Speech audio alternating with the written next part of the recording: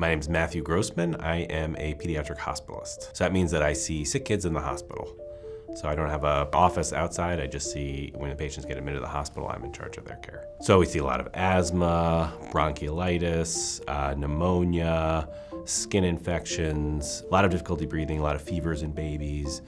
Uh, things like that. I've always liked working with kids. They're just relying on you to get them better, and there's, you know, it, it's a really nice experience to, to, work with kids. And a lot of it's really working with families, and you know, they're coming to you with their children, their most prized possession, and being able to help this this family in need is, is really nice.